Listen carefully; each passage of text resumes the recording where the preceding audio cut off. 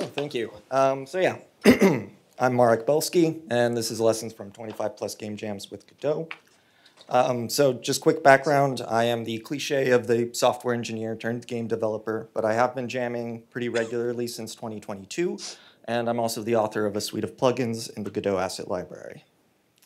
Um, so this is going to be coming from my personal perspective of jamming. Uh, I've done like one Ludum Dare, uh, a few other jams, but primarily I've been doing the Godot Wild Jam. And that is a monthly jam. Uh, it starts like many others with a theme, but they also include these three wildcards, which are like optional mechanics, and they're just there kind of to offer some extra inspiration. Um, and it usually lasts for about nine days. So even if you're working full time, you should get two weekends to be able to like contribute to your, your project. Um, yeah, but even if this format doesn't work for you, there's hundreds and hundreds of jams out on itch. So if you have any free time, I recommend just finding a format that works for you. So then the big question is why jam? Especially why jam 30 times? um, and so I come from a background of actually being very critical of jams. My mindset was, why would you waste time making bad games when you could be working on your good one? I was a perfectionist, uh, and so I would start numerous projects and never finish them because I, they never lived up to the expectations that I had for them. And so I was trapped in that little bubble and just had to learn that as special and unique of a snowflake as I am, I'm not the kind that makes a perfect game on my first try.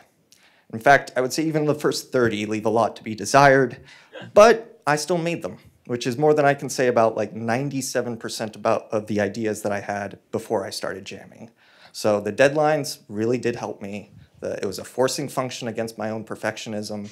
Um, and at this point, I, I can proudly say I'm pretty good at being shitty. Like it's, it's liberating to just be able to throw stuff out there. Also, you get to be involved in like the community and learn to work with the kinds of roles that you would professionally too. Uh, so now some tips I have for like trying to get the most out of your jam experience in the order that I think you'd probably run into things. The first one is often forming a team. Uh, and I have jammed solo um, almost a dozen times, but I do think that is an experience pretty exclusive to developers. So I'm going to kind of cover the broader experience of forming a team or being on a team. And I also think it is a lot easier to actually recruit people than it is to be recruited. Um, it is actually super easy for your first jam to find like tons of first timers uh, but I don't actually recommend that. I think a, a, a healthy size is about one through five. Um, kind of broken it down by role there. I don't think you need a producer for your jam game. if you really want an idea guy who's gonna boss you around and like take credit for your work, pick me. Um, otherwise, 15 minutes a day, and I think you should be able to do that work yourself. Um, some questions that I think are helpful for vetting people, because this is the internet after all. Um, I, especially that middle one of what do they want to accomplish in this jam, I think is important to ask. It establishes like at least some personal connection with that individual, but also you can vet for some people that are like, maybe have an idea that they're going to try and push on the team before the theme has even been announced, or uh, some people who might expect to get first place on their first try kind of thing. Um, also, if you ask about their work or class schedule, I think that's very helpful for scoping, but it also gives you a hint as to their skill level, if they're a student or if they're a professional. Um, and lastly, easy come, easy go. So some of the most enthusiastic people I've had to join a team were the first to disappear when things got tough. So that's just something to keep in mind. Uh, so yeah, the first mistake that every team seems to make is they overscope not a big deal. I've overscoped every single game I've worked on and still submitted the most overscoped ones. I think the trick is you really ha just have to rescope regularly. And that is kind of the process of looking at the progress you've made up to that point and trying to make a realistic projection of where that gets you in the time you have left. Like treat every day as a new starting point to that deadline. Um, and also, it takes some discipline, but you should try to prevent scope creep.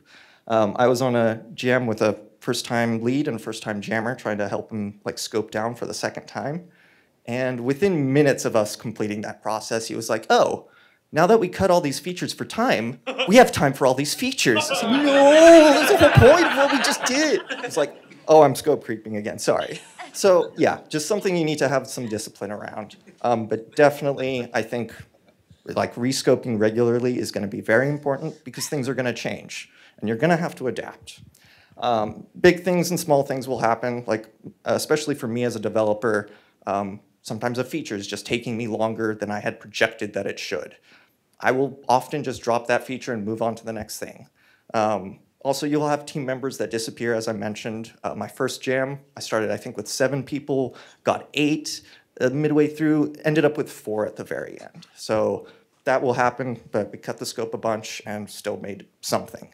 Uh, also, actual skill sets sometimes don't match with your expectations.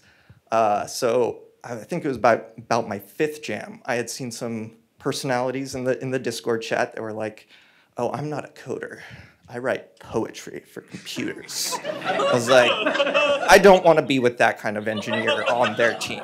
So I found one who was like, "Oh, I've been a professional for 10 years, um, but I'm not that good." I was like, an engineer with some humility around here? He's going to be great. And I scoped for him being great. And I should have believed him. Um, dude was super nice and super enthusiastic, but he was also being very honest. And I mistook that for modesty. So once I recognized my mistake, we rescoped and we were able to make a project that he was able to contribute to. General rule I've learned is to just make the game super easy, if uh, especially for jams. Um, if the player makes it to the end of your game, they're going to think they had more fun and they will rate you higher. Uh, especially if you can break it up into levels, I generally try to make that first level just hand the victory condition to the player um, before adding any obstacles or any kind of like extra mechanics in their way. Along the lines of keeping it easy, I say build for web um, you're going to get way more people looking at your game and, and playing it. And I think that's kind of more important than sometimes using some really cool tech like middleware or C Sharp. Um, so C Sharp might be coming soon from what I hear. And now to probably the hardest thing to talk about is motivation and how to manage it. And this is hard because motivation is abstract. There's not even really one emotion that is motivating. It's sometimes a huge mix. So at least for jams, like I try to split it up into two categories. For me, it's the motivation spring and the engine. And the spring is kind of the motivation that I get from thinking of the idea itself. And uh, it could also be com uh, coming from a muse. But it has the qualities of being kind of outside of my control. It feels limitless until it suddenly dries up. Whereas the engine is a manufactured kind of source of motivation. It requires me feeding it fuel but it's more likely to kind of get me to the end. Um, and it's more reliable, I find. However, it is an engine, so it has some inertia. But um, point I was going to make is that like the fuel for me that I that I give that engine is often the emotional reward of actually making progress. So it's that feeling of being in it and like I'm hitting stops towards my destination. And that I find really helpful. But yeah, as I said, it, it has inertia, so it does take some building up of, of momentum. And so the thing I've learned to do that best is to gamify my game production. Um, I try to divide up the tasks to be as small as possible, and I concentrate the easiest ones at the beginning. Uh, that way, it's like the easiest levels of the game. I start getting some momentum, and that actually helps that engine give me the motivation to carry me through some of the larger and longer tasks. And then I, yeah, remember to distribute some like easy wins along the way just to keep that engine going in case it loses momentum. And yeah, it's actually, I think the motivation spring has only lasted me through three jams, and it's been like the engine that's gotten me through about 27. Lastly, uh, when you get to the end, you're going to want to get ratings and reviews. I recommend having an icon that pops out. So if you scroll through the list of submissions, you should be able to see yours kind of pretty obviously. Um, and also rate and review other people's games. Uh, especially towards the like early part of submission period. Um, I would recommend sorting people by karma because those are the people that are rating and reviewing games the most. Um, and rate and review theirs, write feedback because they are the most likely ones to return the favor. They might not be the best games, but at least you know you will get some kind of feedback from them if, if you're lacking on that.